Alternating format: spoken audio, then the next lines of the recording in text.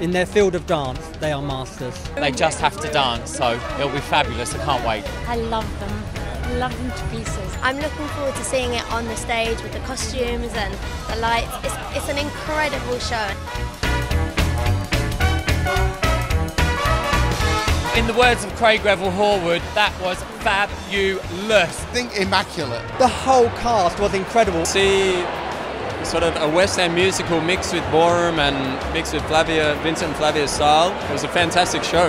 They were absolutely fantastic. And I love Strictly Come Dancing and I loved them on that show, but this was something else. Vincent and Flavia are unbelievable, but the whole cast was unbelievable. Just absolute quality. To see them on a, on a, on a stage, along with actors, along with other dancers, um, I thought the whole production was great. It's phenomenal, isn't it? Absolutely. I want to see it again. We kind of thought with our director, let's push the boundaries a bit further. Let's add ballroom and Latin, which is what we've done for 20 years. Um, let's have a bit more of a complicated storyline.